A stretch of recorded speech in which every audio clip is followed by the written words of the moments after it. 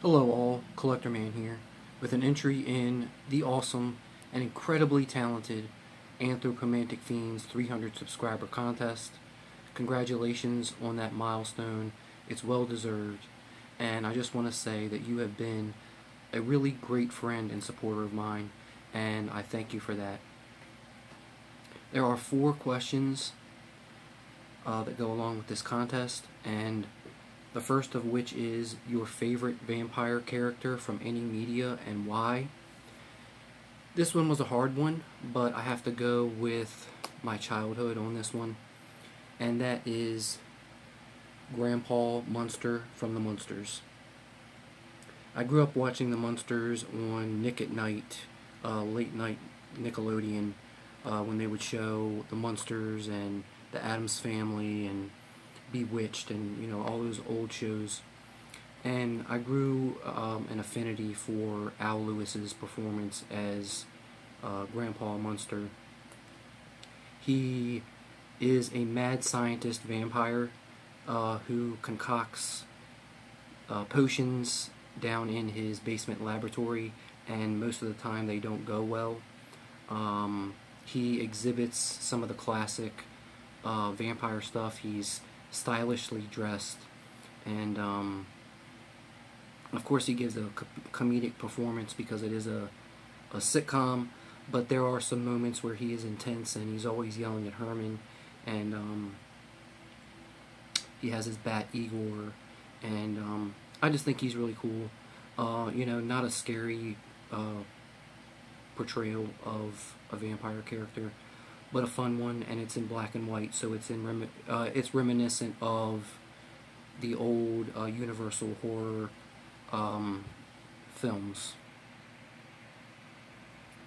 Question two is favorite zombie movie and why, and that is 1985's Return of the Living Dead. I love this movie. It is a horror comedy, and I love the mix of horror and comedy. Uh, the cast in this is excellent. You have James Karen, you have Don Calfa, you have um, Thom Mathews, Linnea Quigley, um, Clu Gulager is in here as well. And the chemistry between all of the actors is is really good, especially between James Karen and uh, Thom Mathews near the beginning of the film, and uh, really throughout the entire film. Um, also, the makeup effects are very well done for this uh, period um, of Hollywood. Uh, they all have their own distinct look. Uh, particularly, uh, one that I like in particular is Tarman, um, uh, who corners two people um, in in a warehouse basement or some something of that nature and he's very thin. He's basically a skeleton zombie, and they, I just thought they were very creative with uh, the zombie styles in this movie, and they are slow moving for the most part um, in the style of George A. Romero's uh, zombie films, and also the music is really well done in this.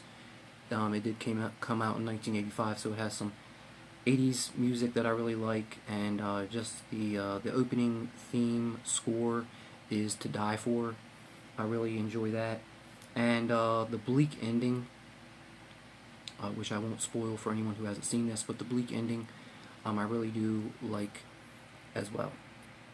Question three: favorite movie that has nothing to do with horror, and that is 1986's Labyrinth. It is an 80s musical fantasy. It's George Lucas, it's Jennifer Connelly, it's Jim Henson, it's David Bowie. Um, I could really stop there to justify it, but I do have more to say about it. Um, no matter how many times I see this movie, I never see the characters as puppets. They're very well done. Uh, the Jim Henson Creature Shop wizardry, um, you, you, you could just be in awe of it uh, the lands and the creatures that they're able to create, and like I said, how lifelike they become. And they really perfected that on uh, Labyrinth. Uh, Dark Crystal is actually one that I enjoy as well, but Um, in terms of the puppetry, I think um, Labyrinth is in film form. I think uh, Labyrinth is where Jim and company really hit uh, the sweet spot.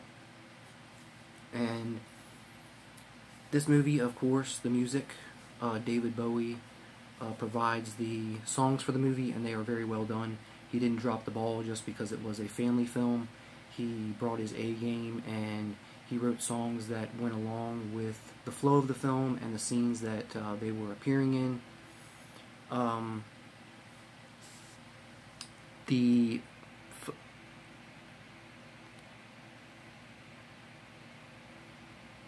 sets are amazing in this movie.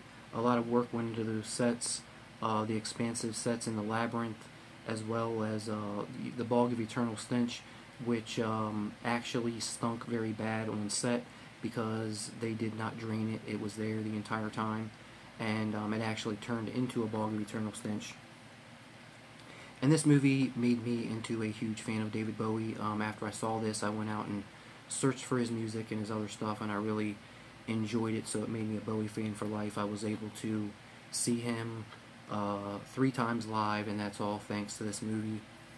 Um, also, in regards to the sets, uh, the MC Escher type staircase set was very cool and it must have been very uh, disorienting to work on.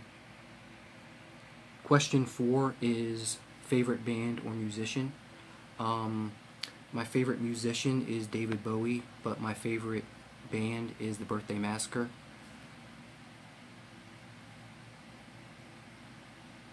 I love the Birthday Massacre. Um, all of their album cover art has a purple theme to it, and uh, the bunny ears. The bunny uh, sort of became their mascot after fans started showing up to their live shows wearing uh, bunny ears. Uh, they've been around for over 20 years now, and they are a Canadian band, and all the band members seem to be really cool. Um, I've seen interview interviews with uh, the band members or just uh, Rainbow and Chibi. Uh, Chibi is the front woman and vocalist, and uh, she is amazing. She gives amazing live performances. Sadly, I have not seen them live yet, but I hope that will change in the near future. Uh, when I hear their music, uh, it brings up uh, dark fantasy imagery to mind. Um, if they ever did a soundtrack for a dark fantasy film somewhere in the lines of um, Guillermo del Toro's Pan's Labyrinth, I think I would faint because um, that would just be uh, really, really uh, awesome. And they are categorized as goth rock or dark wave, but they have their very uh, own distinct sound to them running through all of their albums, and it's really cool. It has that 80s inflection that I really like, and um, all their albums, uh, the songs on their albums flow really well with each other. And uh, really, you can just put on any song by the Birthday Massacre, uh, and it's my jam. And just to wrap this up, uh, that is the final question. Uh, Martin, thank you for putting on this contest and for all of your support and for just being you. You're awesome. Um, everyone, stay safe and healthy. And if you are not familiar with Anthropomantic Fiend, I will be leaving the link to his channel in the description. Please go check it out and subscribe. And thank you once again.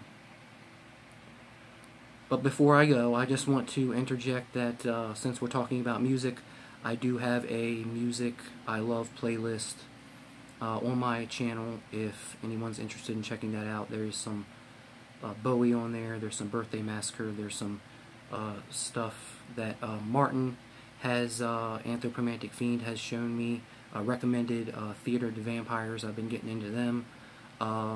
So yeah, if you like music, check it out.